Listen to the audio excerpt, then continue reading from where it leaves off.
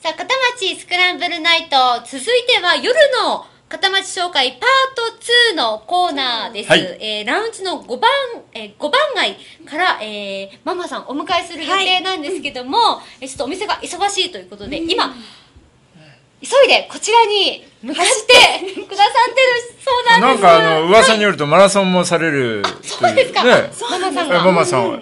というのをちらっと、えーお聞きしておりますので、まあバツナギでマラソンする私が。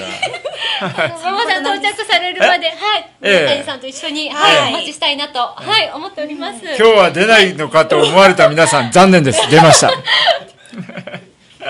お待たせしました、ということでね。そうなんですね。あ、マラソンもされるママさんって、らしいですね。ええ。まあ、あの、来られたら聞いていただければと思うんですけども。はい。ぜひ。ママさんがされるのか、娘さんがされるのか、じゃあまあ、あの、って聞きましそうですはいか。あら、ご到着。た。はされい。たようですね。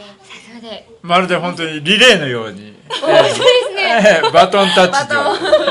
100メートルいかずに50メートルぐらいでちょっと物足りんのじゃないですか、そうですね残念。これ後でカットしてください。ディレクター今吹き出しておりましたけど、ジャスミンちゃんが飛びそうですね、今。ママさんの汗が引いたら頃には、私が、あのそうですねはい、下がるように。はい。宮谷さんも走ってますか？最近。ちょっとね、あのレオーバーワークっていうか、ええ。膝をちょっと痛めまして、そうでしたか。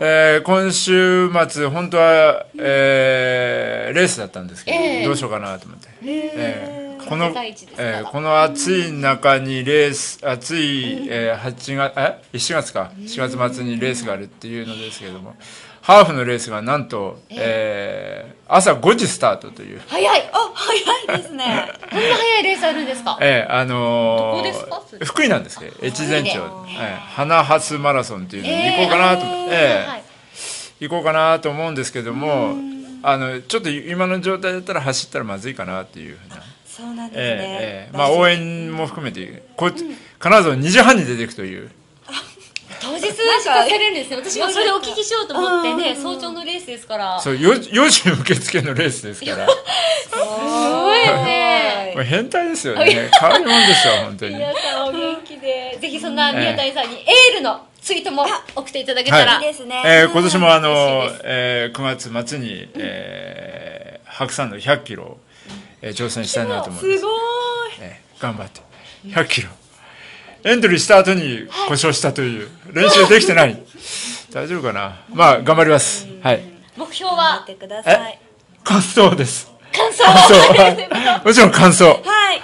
とにかく感想できる。は私いもエールをお送りしております、ありがとうございじゃますあママさんの準備がはい。それでは。整ったということですので残念ながら出ました。はい。どうもありがとうございました、はい。ありがとうございました